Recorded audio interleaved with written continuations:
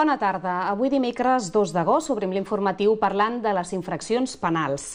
Aquestes es van reduir en un 2,4% a Badalona durant el primer trimestre d'aquest 2023 en comparació al mateix període de l'any passat. Uh, unes dades que contrasten amb el conjunt de l'Estat, on la criminalitat puja un 7,2% i amb la de Catalunya i la província de Barcelona, on l'augment és d'un 11,3 i un 12,1% respectivament.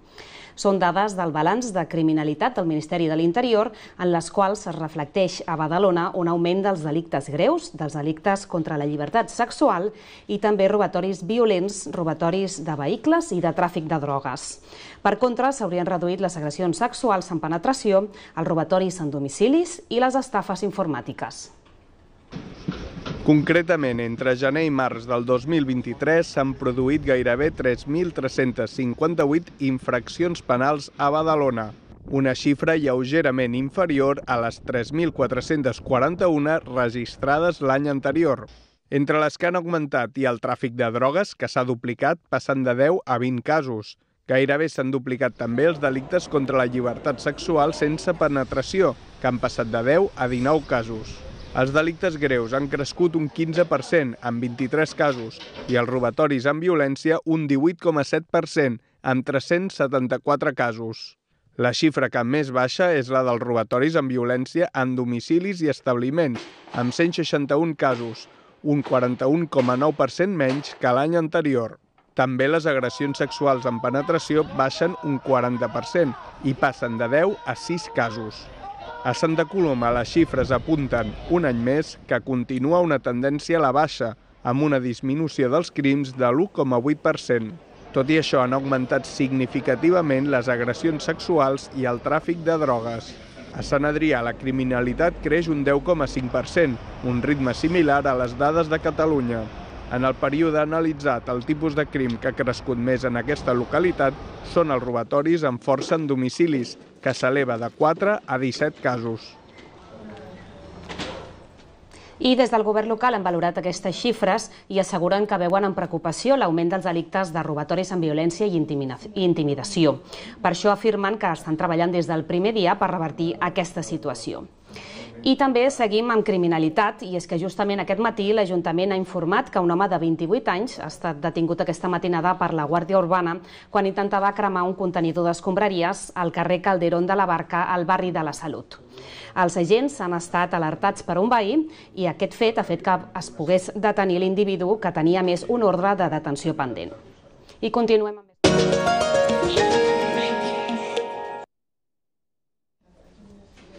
Aquest juliol, Catalunya ha trencat la dinàmica a la baixa de l'atur els darrers cinc mesos amb un repunt sostenible de mig punt en les dades que ofereix la Generalitat de Catalunya.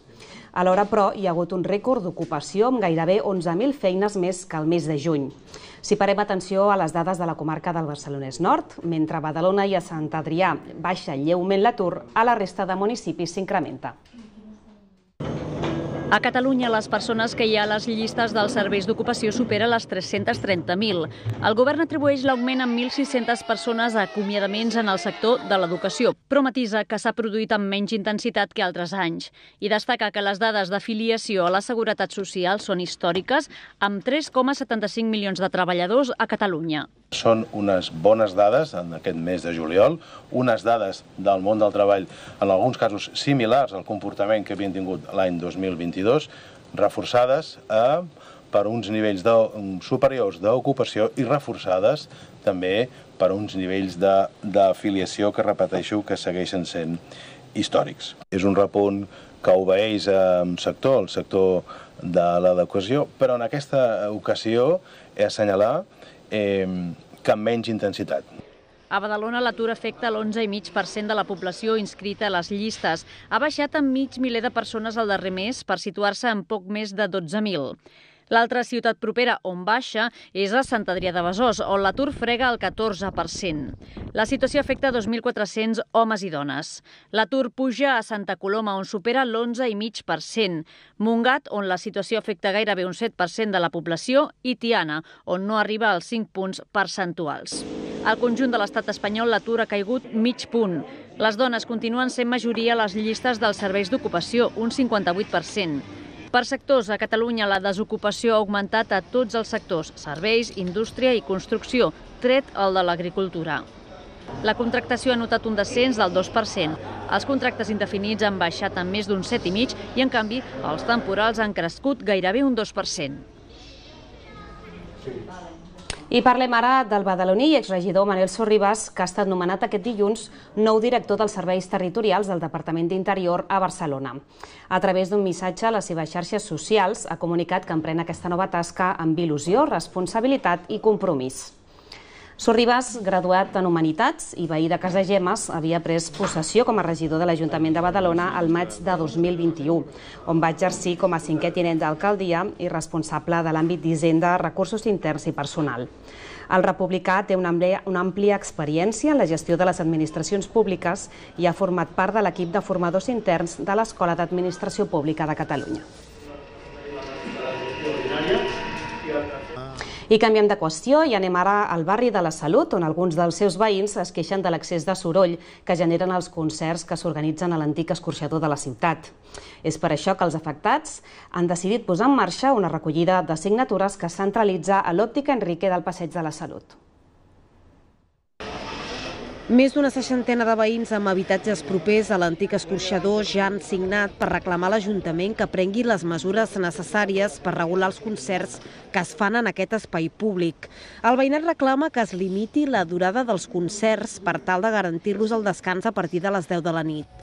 Part dels veïns asseguren que durant aquest mes de juliol hi ha hagut un gran nombre de concerts que s'han allargat fins a altes hores de la matinada amb un volum, diuen, molt alt. La queja principal es la duración de los conciertos, porque han habido conciertos que empezaban a las 4 de la tarde hasta las 12, 12 y media, más lo que tenían que hacer de sonido, pues que comenzaba dos horas antes, y bueno, pues nos íbamos a 10 horas de, música sin parar. ¿eh? Aparte de los días anteriores eh, que se habían hecho otras actividades también de vino un disjockey, hizo cine, también con volúmenes un poquito importantes. Els veïns no veuen l'escorxador com l'espai idoni per fer concerts. És per això que proposen traslladar-los al Parc del Turó d'Encarits, on s'havien fet concerts a les festes de maig. Asseguren que aquest canvi milloraria el descans, ja que el parc no té edificis tan propers. Per la seva banda, des del consistori afirmen que van tenir constància de les queixes veïnals fa uns dies i que en aquests moments s'estan fent les comprovacions adequades per veure si se superen les limitacions de decibels per actuar si cal en conseqüència. I parlem ara del medi natural del territori, on el nivell d'aigua dels embassaments de les conques internes catalanes ha trencat la tendència a l'alça i ha tornat a recular durant el mes de juliol, situant-se per sota del 28%. Avui l'Agència Catalana de l'Aigua ha declarat l'emergència a l'aqüífer Fluvià Muga i al pantà de Riu de Canyes, limitant l'aigua a 200 litres per habitant al dia, però, no obstant això, aquesta mesura no afecta la ciutat de Badalona. Una decisió que arriba després que ahir el president de la Generalitat, Pere Aragonès, descartés fer restriccions d'aigua amb caràcter general i demanés reduir-ne el consum. Després que al mes de maig el volum de les conques ratllés el 25% i toqués els mínims de l'actual període de sequera, el nivell d'aigua va pujar el 30% al mes de juny gràcies a la pluja. Des de l'ACA expliquen que és normal que la xifra hagi baixat durant el mes de juliol, ja que es consumeix més aigua i hi ha una major evaporació i les pluges disminueixen.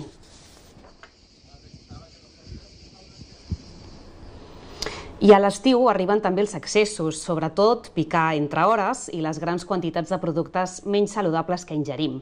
Per divulgar els bons hàbits en l'alimentació, nosaltres hem parlat amb la nutricionista i dietista de Badalona Serveis Assistencials, Laia Martínez Heimring, que ens ha donat uns quants consells de nutrició de cara a aquest estiu. És època de sortir i passar l'estona asseguts a les terrasses. I ara, amb la calor, som molts els que decidim alleugerir els fogots menjant aliments ensucrats com gelats, orxates i refrescos. Però des del punt de vista nutricional, com de recomanable és i en quines proporcions s'han de consumir aquests capricis dolços? Això ens diu la Laia Martínez. Aquest tipus d'aliments, d'aquestes begudes, al final bueno, són begudes que poden estar incloses dins d'una alimentació saludable, no? sempre que la freqüència de consum amb la que ho prenem doncs no sigui també a diari i més d'una vegada al dia. No? Al final també podem buscar alternatives, opcions saludables fresquetes, com bé has dit, la fruita, o buscar algun batut no? que també puguem eh, refrigerar de manera que també podem introduir eh, aliments saludables eh, en aquesta època de l'any. El mateix passa amb la cervesa i les braves a les terrasses dels bars. Si fem un consum esporàdic d'aquests productes salats i grassos, no hi ha cap problema.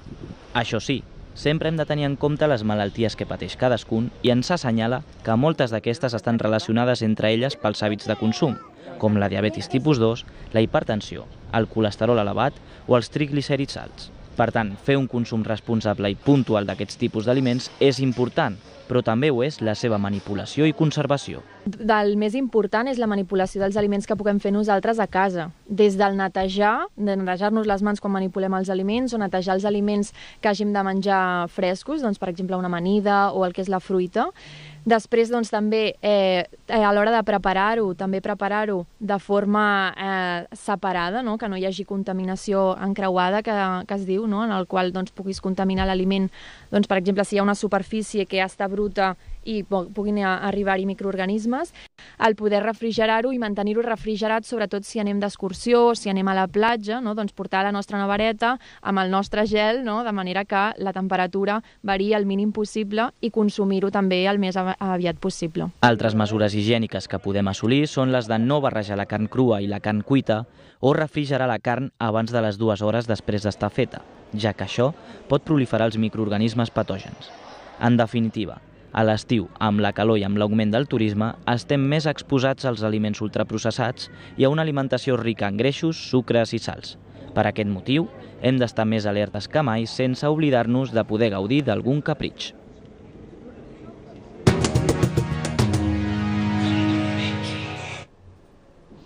I ara fem un repàs de les estrenes més destacades d'aquesta setmana, tant a les sales de cinemes com a les plataformes de streaming. Dios es bueno, Dios es grande. Que bendiga. Que bendiga esta casa. Phyllis Nagy, acompanyada per les actrius Elizabeth Banks i Sigourney Weaver, dirigeix Todas somos Jane, un film històric feminista que desembarca a la gran pantalla aquest divendres i tracta sobre una xarxa clandestina de dones que proporcionava avortaments segurs als anys 60 als Estats Units. Me siento cómodo con el porcentaje de pacientes que dan a luz un bebé sano. ¿Sin que importe la madre? Tengo una mala noticia. ¿Qué pasa? Mateo ha muerto. No jodas. Vaya palo, tío. Me han pedido que vaya a repatriar el cadáver. ¿Quién coño, Mateo? El to còmic d'aquesta setmana ve de la mà del director Joaquín Mazón i protagonitzada per Pablo Chapella, Esther Acebo, Carlos Santos i Fran Perea. De Perdidos a Río tracta sobre un viatge de tres amics a Río de Janeiro per recollir el cadàver del Mateo, el seu millor amic de joventut, que ha mort en estranyes circumstàncies. O això és el que sembla, perquè en realitat en Mateo ha fugit. Parecéis niños, de verdad. Increíble la luz, el agua, la alegría de vivir. Claro, esta gente no se parece en nada a la de Cuenca. Vaya, vaya, chavales. Podría ver el Bunda, do morto. Ay, oye, no, no, ay. No, no, no, no. Este culo no es Mateo.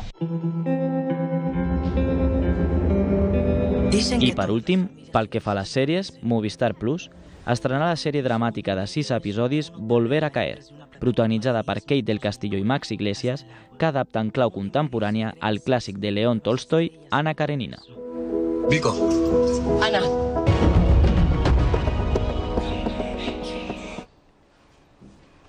I en plan esportiva, més fitxatges a l'equip de Santi Álvarez. El, el club no perd el temps a l'hora de formar un nou equip. El Club de Futbol Badalona continua ampliant fronteres amb nous jugadors, en aquest cas amb un davanter centre com és Daniel Omet, també amb David Batanero, que és migcampista, i amb Joel Armengol, un migcampista polivalent. Procedents de clubs nacionals de segona RFEF, com són la Unió Popular de Langreo de Astúries, la Unió Deportiva de Montijo d'Extremadura i el Club Rápido de Bouzas de Vigo. Tots tres jugadors són catalans i han tornat a casa després de temporades fora i, a més a més del projecte del club, que és el que més els ha tret, també comptaran amb un altre plus. Tenía muchas ganas ya de volver aquí a casa con todos mis amigos, mi familia. Y sí, es un, es un plus, eh, tener el apoyo aquí es importante, pero nunca ha sido mi prioridad. Lo que me hizo volver aquí era el proyecto, el, el club y, y sobre todo hacer un, una gran temporada. I a més a més de la pretemporada, també és el moment d'adaptar-se a l'equip. Eh, tanto el cuerpo técnico como la directiva, como los compañeros, lo están poniendo muy fácil. Sí que es verdad que llevamos tres o cuatro días, habríamos hecho alguna comidita por ahí, así que, que bien, muy bien. Ah, la adaptación es muy fácil porque son chavales jóvenes que, que te lo hacen muy fácil todo y bueno, y de momento muy bien. Actualment tot l'equip de Santi Álvarez es troba fent la pretemporada i preparant-se per l'inici de Lliga que començarà amb un partit contra el Vilassar de Mar el proper 10 de setembre. I fins aquí l'informatiu d'aquest dimecres. Més informació local, com sempre, als butlletins horaris de Radio Ciutat, al nostre perfil de Twitter i al portal web bdenacom.cat. Gràcies per la seva atenció. Que vagi molt bé.